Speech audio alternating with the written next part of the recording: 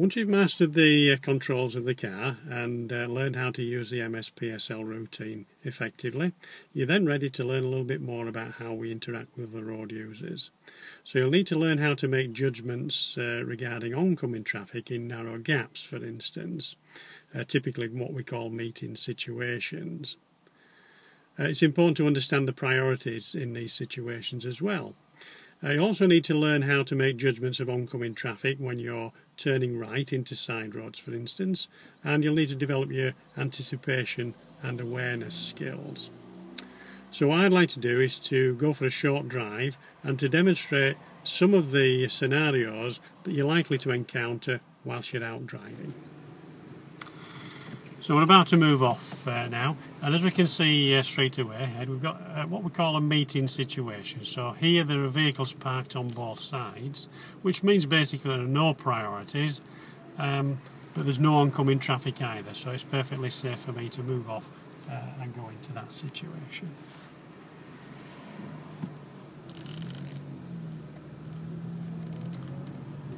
Now I'm mindful at the moment that it's a, a residential area, so I'm likely to encounter pedestrians, uh, people uh, perhaps crossing the road.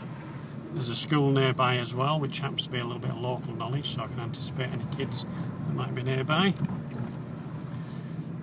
So I'm driving at an appropriate speed for that, so I'll be able to stop if somebody, for instance, stepped out uh, from behind these parked vehicles. Now, I'm going to prepare to hold back for this red car that's coming the other way, and if you look at the sign, you'll see that in this situation, those oncoming vehicles have the priority. So I've got to wait here behind this give way line uh, and wait for the oncoming traffic. I'm also waiting for the next one, which seems to be a little bit further ahead, but if I were to move forward now, I'd meet him just in that narrow gap. So best for me to wait here, and then I can move off safely once he's gone through.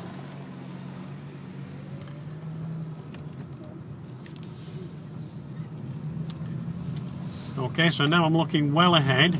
I can see that there's another uh, meeting situation coming up. In this particular case, I've got the priority. The sign's telling me that. But if I check the mirrors and just slow back a little bit here, that allows these other vehicles to get through and for me to go through afterwards without having to uh, slow down too much. So it's all about timing. Again, another a meeting situation coming up and again I've got the priority. I can see at this point that there's no oncoming traffic so it should be safe for me to continue. I'll still need to slow down to negotiate uh, the hazard and that's what this traffic cam is about, is to keep the traffic nice and slow, keep everybody safe. So no faster than 15 miles an hour going through that little uh, chicane there. As I approach the mini roundabout, slowing down again, checking all round, we normally give way to traffic from the right, but we also check the roads on the left as well and ahead in case someone else makes a mistake. I'm keeping it nice and slow, just about 10 miles an hour as I meet this white car coming the other way. Reasonably wide at that point because the cars are parked in the laybys just as they are further ahead, so I should be able to get through with any oncoming traffic. Probably have to be a little bit more cautious uh, if there are any bigger vehicles like lorries or buses. Plenty of room to get by with the van here. We're coming towards a junction now, we can see that from the warning sign just up ahead. I'm going to turn right at that junction.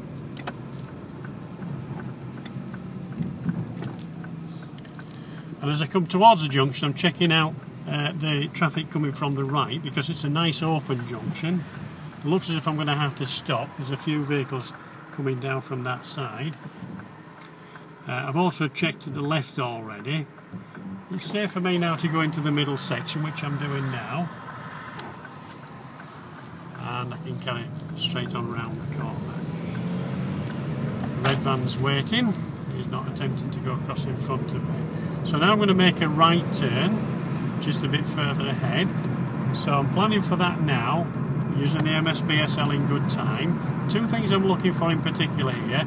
I'm looking at the oncoming traffic to try and judge a gap there. Well, I should be okay just after the red car, but then as we look a bit further ahead, we've got those other vehicles. So I don't think I'm going to be able to time it to be able to get through without stopping this time. As I approach the junction, I'm also looking into the side road. Safe for me to go after the four-wheel drive. So I look into the side road for any pedestrian activity. Somebody could be crossing the road, there could be parked vehicles just round the bend as well. And I can see now again there's another meeting situation coming up ahead. I've got to give way to the oncoming traffic. So I'm looking well ahead. Can't see any oncoming traffic, so it's safe for me to continue. Mini roundabout coming up again. So I'm going to slow the car down uh, and I'm going to give way to the traffic from the right, but I'm also checking the road ahead and the road to the left. So at the moment it's safe for me to continue. Now the road's a little bit narrow because of these parked vehicles on the right, but uh, I'm able to get through before the oncoming traffic gets uh, towards me. Another mini roundabout coming up, so again I'm checking out the oncoming traffic, looking into the road on the left as well, keeping my eye on the motorbike because he might just come round the roundabout. I don't think he's going to do. No, he's going ahead, so I'm safe to continue.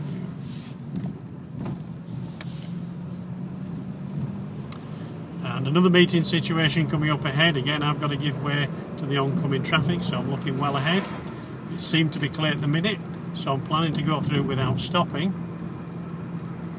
Need to slow down to about 15 miles an hour or so to negotiate the hazard though.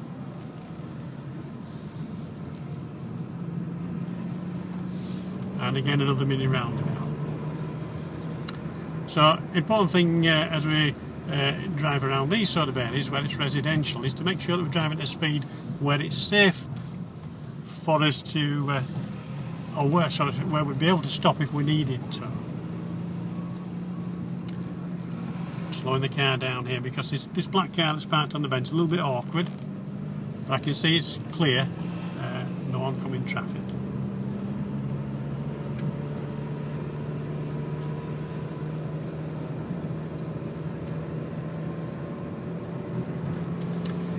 There's a bend up ahead, and there could be anything around that bend. There could be somebody crossing the road, or there could be a parked vehicle or something like that. So what I'm doing now is just checking the mirrors and slowing the car down a little bit in anticipation of any problems that might be around there. So I can always stop within the distance that I can see to be clear. I'm going to turn left at this T-junction.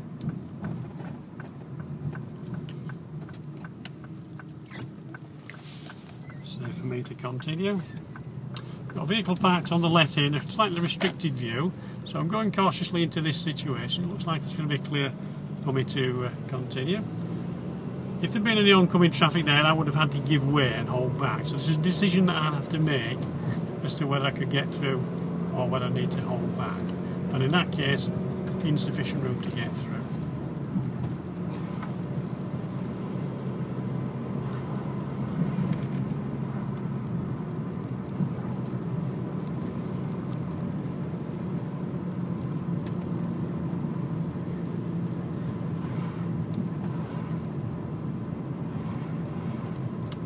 Car parked on the left. So I'm looking well ahead. There's a bus coming around the bend, so I'm going to prepare to give way here. So I'm slowing the car right down, and I'm going to hold back a couple of car lengths from the blue car, so I've got still got a good view ahead. I don't want to get too close to the curb at this point either, in case people think I'm parking up. So I can now see it's clear for me to continue. So important thing there is to hold well back from the vehicle that's parked on the left, so you've got a good view ahead and uh, you don't have to steer so dramatically to get past the vehicle then when it's safe for you to continue. Another bus coming the other way. This time I've got the priority. I'm slowing down anyway just in case he decides to try and come through. He's held back so that's okay for me.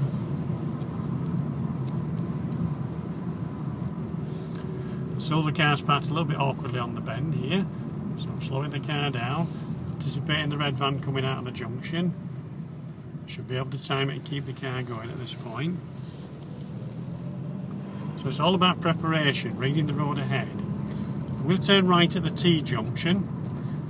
There's a silver car parked on the right, so I'm anticipating somebody coming round the corner and into that space. But it's clear at the minute for me to continue.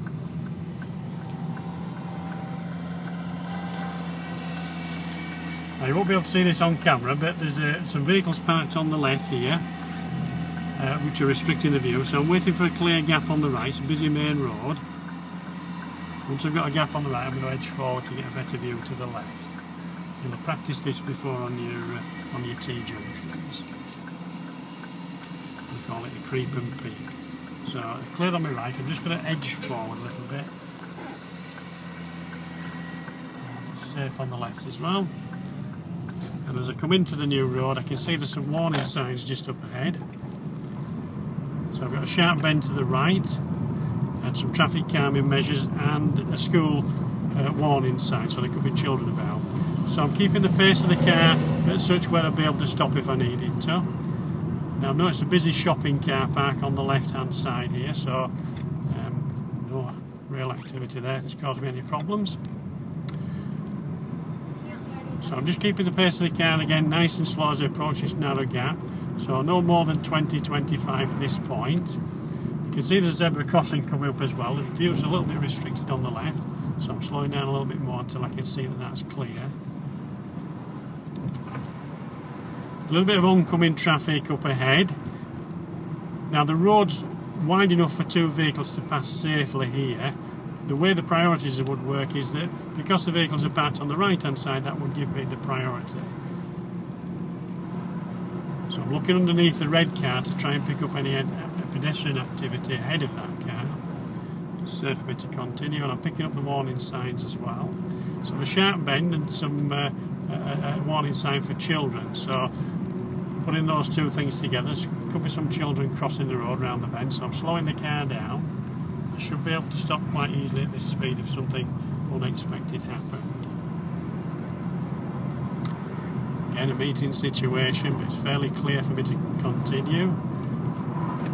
I'm anticipating anybody walking out between these vehicles, pedestrians for instance. So behind the skip for instance, there could be a small child about to cross the road. So I'm checking the mirror, slowing the car down a little bit just in case. Could be a similar situation with these vehicles parked on the right as well. So I'm going to make a right turn now preparing for that and as I slow the car down I'm looking at the, uh, road ahead. Like I see there's one or two vehicles coming towards me so I'll need to be able to judge this right. Looks like I'm going to have to stop. So whilst I'm waiting I'm looking into the side road on the right. You can see that that's clear there's no pedestrians crossing the road or anything like that. And I'm now going to pull up park on the left